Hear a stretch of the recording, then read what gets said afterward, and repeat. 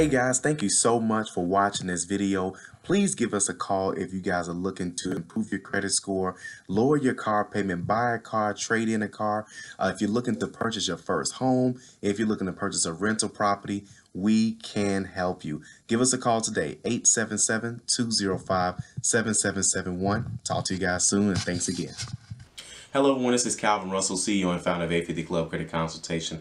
Hope everyone's doing well today. I uh, want to talk about a very important uh, topic uh, that used to pop up when I was actually selling vehicles, um, you know, for Nissan. I sold cars for six years, uh, and during that time frame, a lot of people used to always ask me, should they go with a warranty? So now, to answer your question, it really all depends. Number one, the biggest thing is how long you're going to be driving the vehicle. Okay. Uh, for example, uh, I have my real estate license, so I do a lot of driving. So I bought a car with very low miles, a 2014 vehicle with 16,000 miles, and I bought it in 2017. Okay.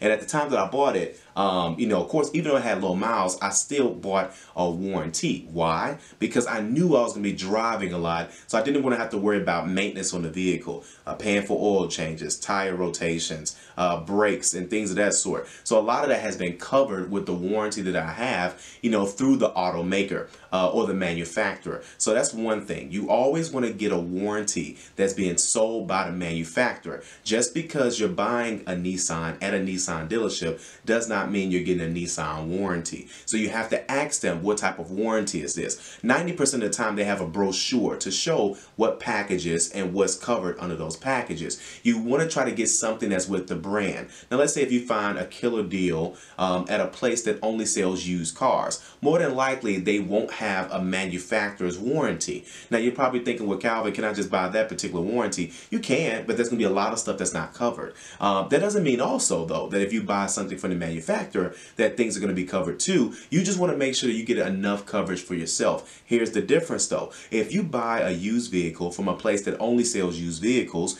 which means they don't specialize specifically in uh, selling a warranty that's going to cover that particular vehicle. So that means that you would have to pay out of pocket and actually go to a manufacturer and then purchase a different types of warranty. Some manufacturers don't sell outside warranties to vehicles that they haven't done a pre-checkup on. It's essentially kind of covering a vehicle without knowing anything about it, okay? Which leads me to my next point. Well, I'll go and explain it now. If you're getting phone calls saying that your vehicle warranty is about to expire or things that you're getting in the mail, please I, I, recommend disregard it a lot of those things just really suck and they just and they know that they can sell people on fear. Uh, I see it all the time. Um, I people that I sold cars to a year later they got something in the mail saying hey your warranty is about to expire or it's expired. Get this warranty. It only costs $400 now you done paid this money and it's crap. It doesn't cover anything. And then worse they for completely forgot about the, the manufacturer's factory warranty that was still on the vehicle. Of course, one of the best warranties that are out there is the Kia and Hyundai warranty. Was at 10 years, 100,000 miles. Since I sold Nissans, we used to have a joke like, of course, it's a Kia or a Hyundai. It would need 10 years or 100,000 miles. So, but either way, um, you know, so, but again, don't forget about your factory warranty before you start buying stuff, you know, so that kind of goes into how long you're going to be keeping the vehicle. If you're going to keep the vehicle for a short period of time,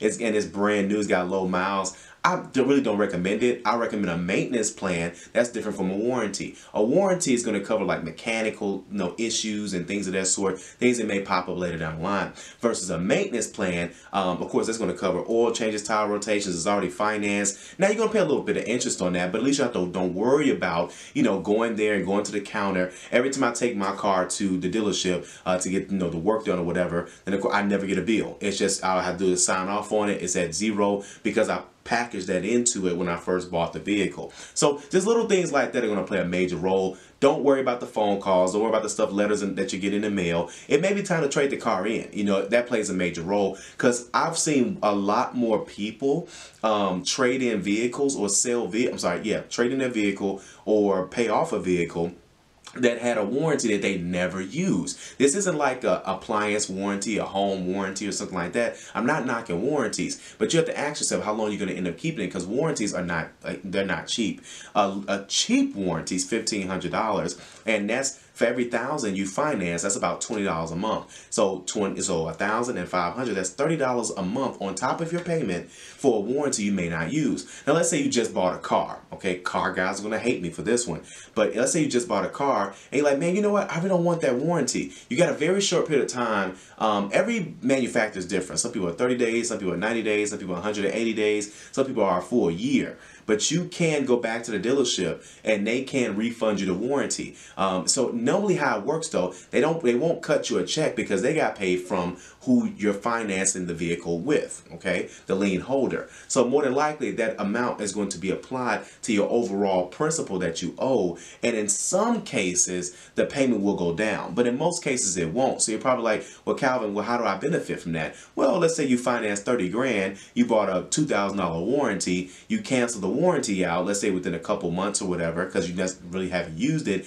Now they're going to subtract that $2,000 from the 30 that you borrowed. Now your principal is 28,000. Your payment is going to more than likely stay the same because that's what you signed your name to, but you're going to pay it off about what's that? About six months of you know faster than you normally would have if you would have kept that warranty. So, but either way, hope that kind of helps you guys. I know a lot of people always get you know warranty questions and should I buy this for my car and things of that sort. At the end of the day, it's up to you. It's however you want to do it. But again, be, just make sure that you read what these warranties cover because a lot of most of the things that don't even happen are the things that are covered by the warranty. But maintenance is something that you're going to always have to get. So I, I think that's a, a, bigger bang for your buck, as well as uh, tire and wheel protection as well too, because flat tires happen. You got to change tires all the time. That stuff does happen. Okay. So if you like this video, like it. You want to share it, share it. And as always, be sure to subscribe as we have nothing but great content on the way. Thank you guys so much. Have a good day.